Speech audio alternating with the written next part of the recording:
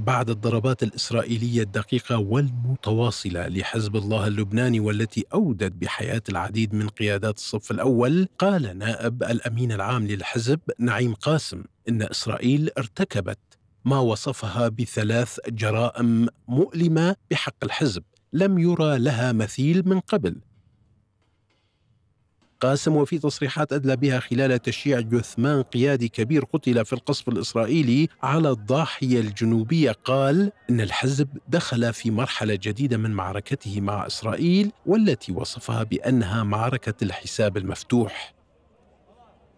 في المقابل تعهد مسؤولون إسرائيليون باستمرار الهجمات الإسرائيلية ضد حزب الله اللبناني ما يفتح باب الصراع على مصراعيه مع التوعد الأخير بالرد رغم عدم تحديده الزمان والمكان.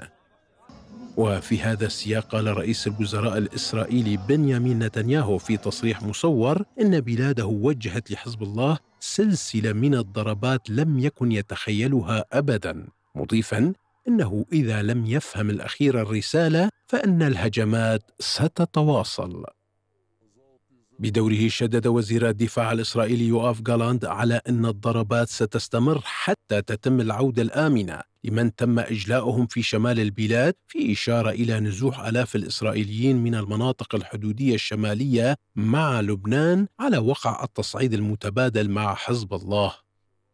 وشهدت المواجهات بين إسرائيل وحزب الله تصعيدا خطيرا في الأيام الأخيرة إذ نفذت طائرات حربية إسرائيلية أعنف قصف منذ ما يقرب من عام من القصف المتبادل مؤكدا ضرب 290 هدفا السبت ومتعهدا بمواصلة ضرب المزيد من الأهداف.